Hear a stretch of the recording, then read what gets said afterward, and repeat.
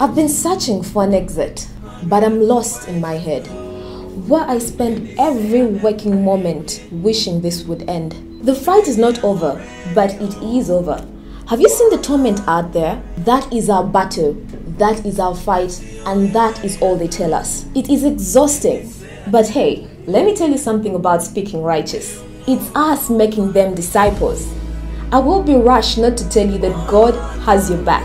We speak and work for the culture that Jesus left us.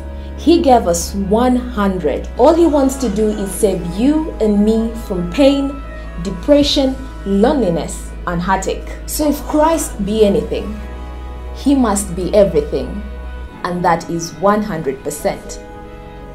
Keep it 100.